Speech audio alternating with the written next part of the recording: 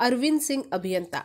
नाम अगर याद नहीं आता है तो चलिए आपको बता देते हैं कि पिछले दिनों आरा में पवन सिंह का एक स्टेज शो हुआ था। वहाँ पर इन्होंने अपना एक शो किया था। पवन सिंह के स्टेज शो होने के बाद इन्होंने अपना शो स्टार्ट किया था और पवन सिंह के साथ इन्होंने स्टेज भी शेयर किया था। इनका एक वीडियो या यूँ कह लें, इनके कई वीडियो हैं जो बड़ी तेज़ी से वायरल हो रहे पीछे कारण है इसका, सिर्फ़ और सिर्फ़ पवन सिंह। बता देते हैं, इस वीडियो में उन्होंने क्या कहा है?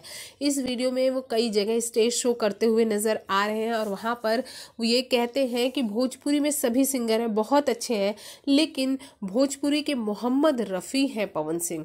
और इस वीडियो में उन्होंने खुलासा किया है कि ये बात उन्होंने पवन सिंह की पहली जब शादी हुई थी, नीलम सिंह, उसके तिलक के दो महीने पहले कही थी कि पवन सिंह आने वाले समय में भोजपुरी के मोहम्मद रफ़ी हैं। तब उस स्टेज शो पे कई लोगों ने इनका मज़ाक बनाया था, लेकिन आज वो ये कह रहे हैं, सभी को इसका जवाब मिल गया था।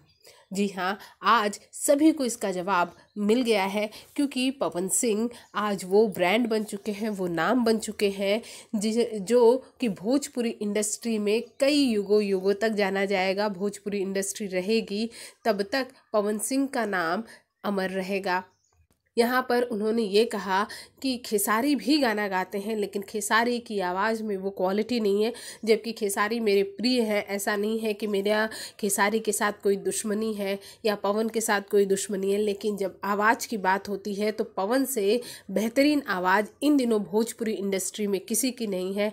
वहीं अगर लेडीज़ सिंगर की बात करें तो कल्पना पटौरी की आवाज़ को उन्होंने लता मंगेशकर की आवाज़ से कंपेयर किया था। उन्होंने ये कहा था कि भोजपुरी की लता मंगेशकर हैं कल्पना पटौरी। तो यहाँ पर पवन सिंह के फैंस के लिए एक और बहुत बड़ी बात है।